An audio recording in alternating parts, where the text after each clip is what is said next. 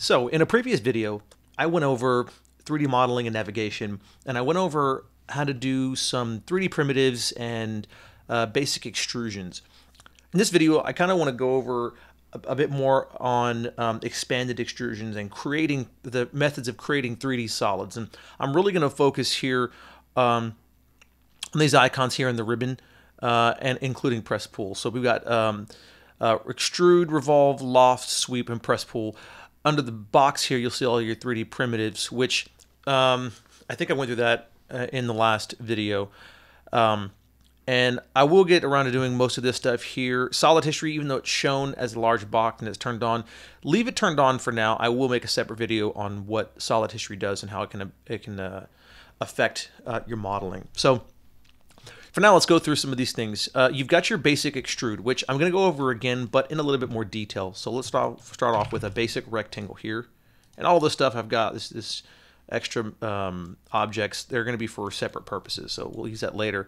For now, we're going to do uh, our basic extrude. And just to kind of recap real quickly, because the other one was kind of buried in the middle of a video. Um, with extrude, you uh, select your icon or type in the command ext, is the, the alias for that select your object, has to be a closed boundary. If it is not a closed boundary, and I'll, I'll do both here.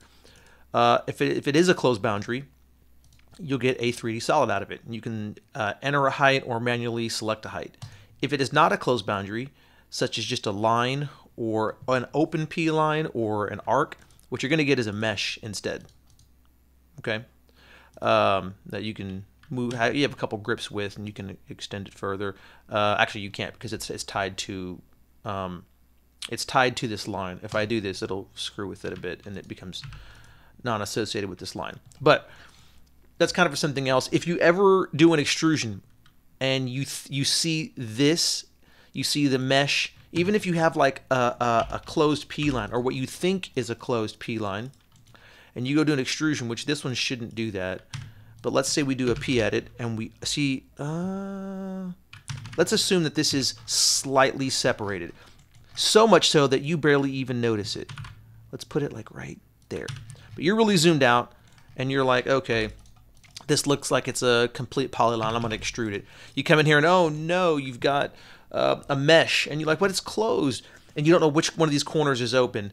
Um, you need to close it. You need to redraw your shape or you need to go investigate each corner until you find it or type in p-edit and just hit close.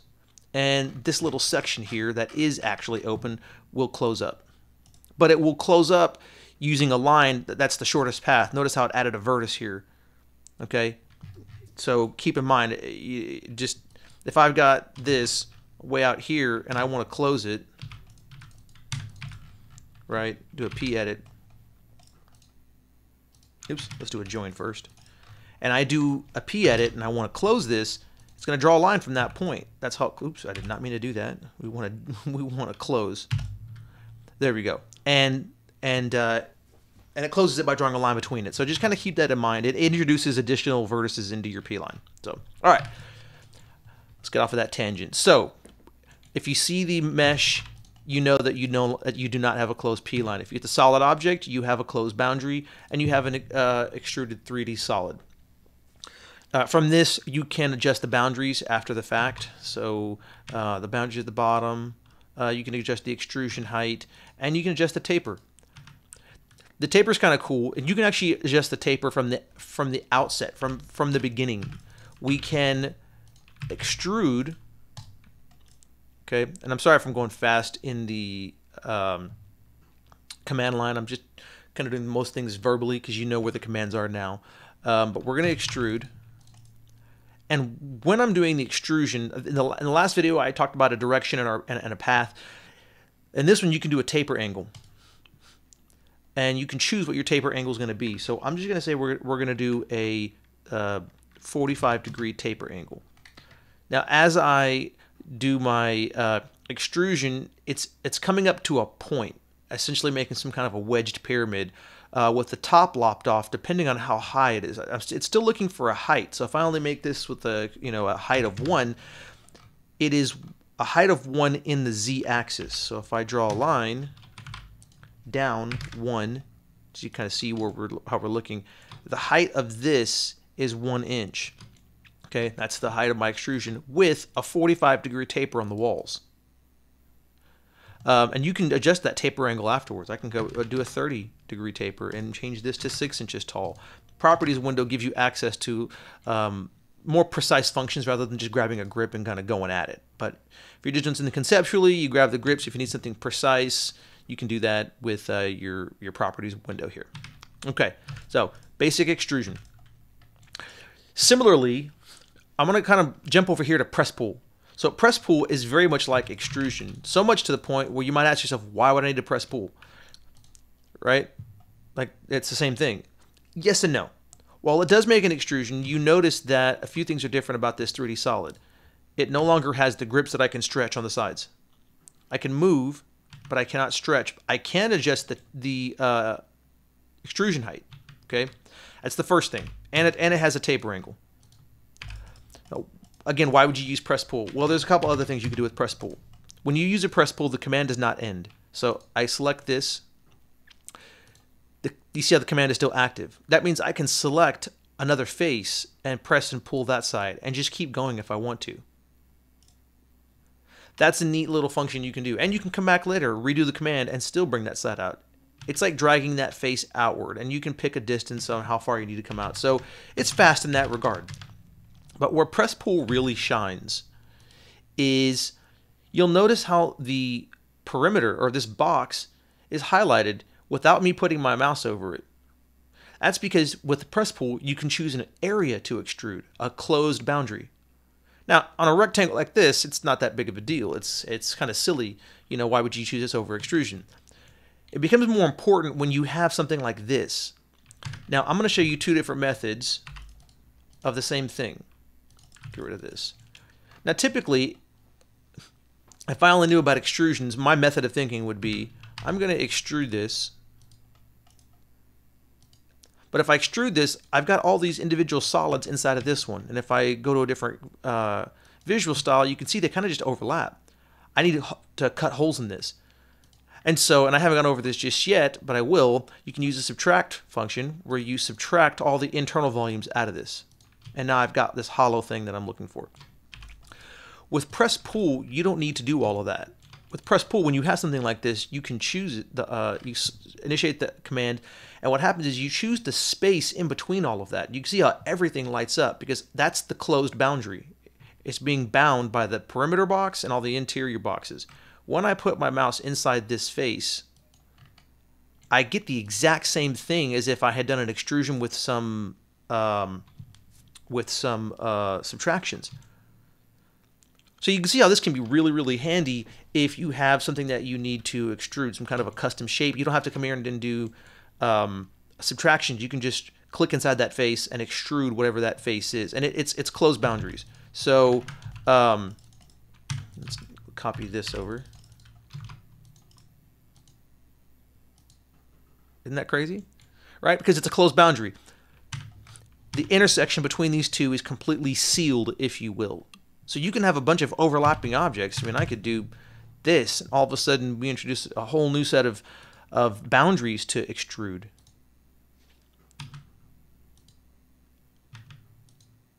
Right?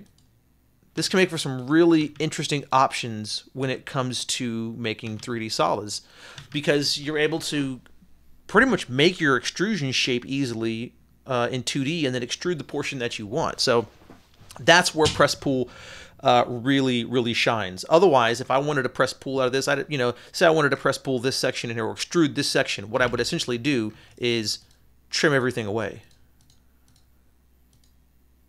Oops, I think I missed one. There we go. So, you know, now I'm trimming everything away. And even then, I still have to join. Otherwise, it'll be a mesh. There we go. Now I'm ready to extrude, and I, have got what I needed. So it, it, can just it can speed things up a lot. So press pull is a, is a unique function that you can use uh, when you need it. When doing basic extrusions for circles and, and other polylines and rectangles, probably not as helpful. Um, but when you're doing some more complex things, it can really start to shine. And especially if you want to quickly just drag a face, you know, any one of these things can be, you know, drug out. It's pretty neat. So, okay, now enough of that. I'm kind of gushing over press pull. It's fun to use. Um, so we can get rid of that. All right. Oh, and with press pull, you leave your original objects. With uh, with extrude, you lose it. So you can see like if I have two rectangles, sorry, I gotta make this distinction real quick. If I got two rectangles and I extrude one and I press pull the other, if I erase this extrusion, the rectangle is gone because it converted that close boundary into an extrusion, into a 3D solid. If I erase this one, it leaves it behind because I'm extruding a region, not necessarily the boundary. Okay? All right. Next, we're going to move on to revolve. Maybe a little bit less used, but can have its uses depending on what your line of work is and and uh, and if you need something like this. Revolve um, solves the function of a, of a curved extrusion, um, especially something like a torus, right? Yes, you could make a torus or a donut, um, you know, primitive and then edit it. But what if you have a more complex shape that you need to revolve? You could use a path um, which, you know, let's say I wanted to extrude along a path. We'll make this arc my path, do an extrusion, do a path, and there it is. You could do that too. Um, but revolving basically takes a profile, a closed boundary, again, polyline, circle, something like that, and it's looking for an axis. If I make an axis right here, it's going to follow this circle. It's basically what is this going to revolve around? So this is the central point of my axis, right? That, that is my defining axis. And now I can choose an angle for my revolved circus, circus surface. So if I only need to, you know, make this a 30 degrees, starting from zero, cardinal point zero, if I only need 30 degrees, I can type in 30 and I only get a 30 degrees little chunk of delicious sausage here, okay? Um, and so uh, if you need to use a revolve function, you know, it's there for whenever you do need it. So, and you can change that angle of revolution afterwards. There's a couple little things you can do afterwards that you couldn't do with an extrusion. So, um, okay, so that's our that's our revolve. Um, pretty simple, straightforward there. Now we're gonna go to loft. Now loft is a little trickier. Uh, at its core, it's simple, but it can be a little tricky. The thing about loft is it takes two profiles um, and it attempts to connect them. So, for example, we have two closed boundaries here, and it might be difficult to extrude this and connect it to this, right, with a taper and all that. But using a loft, I can do that. I can connect these two profiles What's interesting about Loft is that you can connect more than one profile. So I can say uh, when I Loft, it's asking me for my cross sections. Well, there's one cross section, here's the next cross section, and here's the next cross section. By default, you'll notice some funky behavior. It's curved. Now, why would it curve? That's just because the default behavior is smooth fit. When you select a loft, you see loft options. If you need it to be the same as its original cross sections, you choose ruled. And now we can see the, the original cross sections. We've got one here, one here, and one here. These are our cross sections. Um, lofting can also use guides and paths. Um, you'll see that um, you've got uh, points join multiple edges. A lot of these you really, I, am not going to do a deep dive into loft because this is really more over, um, this video is more over a quick uh, intro and guide into a bunch of functions. I can probably do an in-depth loft uh, video because it might take a little more time than I want to. But most of the time, you're just going to be able to, you're going to pick your profiles, um, and then afterwards you can do guides and and path and whatnot. And doing that, like I can make a, a, a line that does like this and this, you know, and then like that. And let's just go to the front and join these with our P line. Ooh, did not want to do that. Are we, ooh, I should not have done that. Let's do a P line instead.